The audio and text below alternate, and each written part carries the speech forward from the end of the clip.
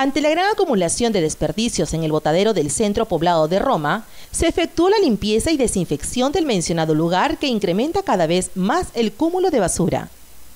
Sí, este, el día lunes, a partir del día lunes hasta el día de ayer hemos estado haciendo este, un tratamiento eh, de fumigación, desinsectación, eh, desinfección del denominado este, botadero allá en, el centro poblado de Roma. Eh, con la finalidad de, mitigar el impacto ambiental, dado a que el organismo de organización este, de fiscalización y evaluación ambiental, este, como la UEFA, siempre nos, evalúa, nos, nos supervisa, eh, con la finalidad de que por ahí no haya algún daño al medio ambiente y de, de hecho también el riesgo de la salud de la persona, ¿no? El funcionario edil Pablo Ríos detalla el procedimiento empleado y químicos utilizados para la desinfección. Entonces, este, hemos tratado de fumigar con productos este, eh, ligeramente tóxicos para el ser humano, pero extremadamente tóxicos para los insectos y otro tipo de roedores que, como sabrán, que en un botadero ahí botan todos los residuos orgánicos y sólidos de, diferentes lugares, porque no solamente Roma vota, también vota Casa Grande, eh, votan otros de otros lugares también, lamentablemente clandestinamente lo votan, hasta el punto que el votadero ya prácticamente está colapsado. ¿Cuán eh, congestionado está este botadero de Roma? Eh, muy congestionado, pero de todas maneras la municipalidad hace denodados esfuerzos a fin de eh, buscar un espacio, abrir un espacio a fin de que, este, como le digo, eh, evitemos ese tipo de contaminación. También se ha hecho un caleado, ¿no? Eh, se ha llevado la pala al cargado frontal y se ha hecho un caleado también para que este, el tratamiento sea este, eficaz. ¿no? dentro de los productos de la fumigación eh, se han empleado este, como ingrediente activo alfa-cipremetrina, eh, algunos este, desinfectantes que tienen este, tanto para, para bacterias, virus y hongos. Eh, hemos empleado un coadyuvante para que la fumigación perdure, quede ahí impregnado por varios meses, unos tres meses, ¿no?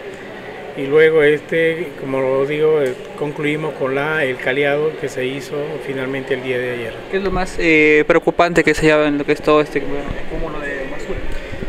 Claro, es, muy lamentable que eh, lamentablemente por falta de cultura, quienes van a, ya sea en camioneta, en mototaxi, van a botar sus residuos sólidos, lamentablemente le dejan las orillas del botadero, ¿no? Eh, pero aún así también se ven casos de que eh, a lo largo de la pista, de la carretera industrial, también hay este residuo sólido. Lamentablemente es una cuestión de formación, ya eso viene de casa. Eh, nosotros siempre tratamos de, de que estos casos este, darle charlas a fin de que concientizar a los, a los ciudadanos, ¿no? inclusive ustedes mismos.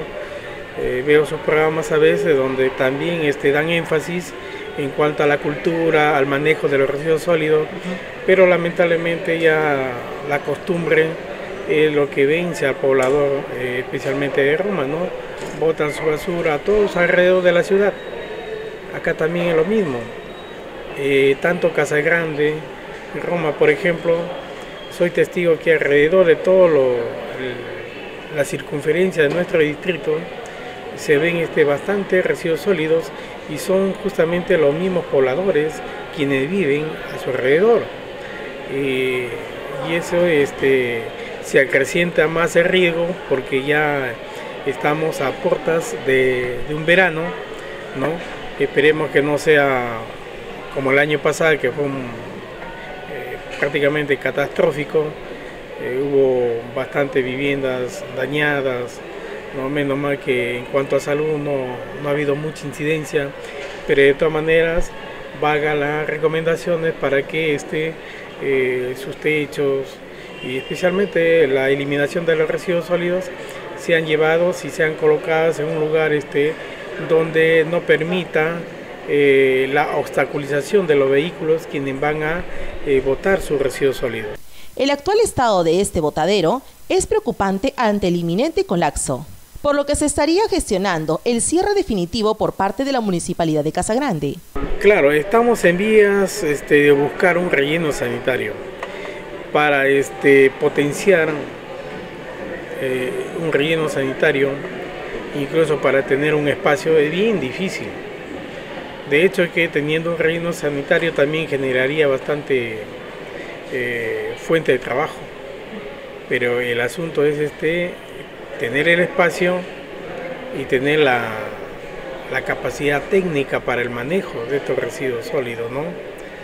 Eh, actualmente no lo tenemos, estamos en eso, en esa espera, ¿no?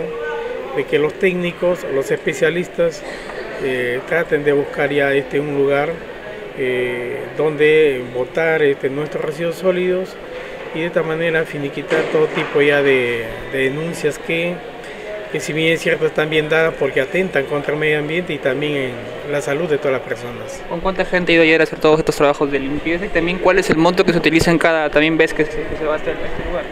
Claro, este durante los días hemos estado seis personas. Hemos estado seis personas este, cumpliendo la labor de fumigación y caleado. En cuanto al monto, ya bueno, eso es manejado por una empresa, ya es a nivel interno porque eh, los trabajos que se hacen en campo eh, están normados así, que sean empresas quien haga este tipo de trabajo, ¿no? Eh, se encargará posiblemente de logística, ¿no? dar ese tipo de información más, más real y de esta manera este, evitar especulaciones por ahí acerca del trabajo que se ha generado. Cada año es necesario llevar a cabo dos limpiezas en este sector, siendo necesario revaluar la creación de un relleno sanitario.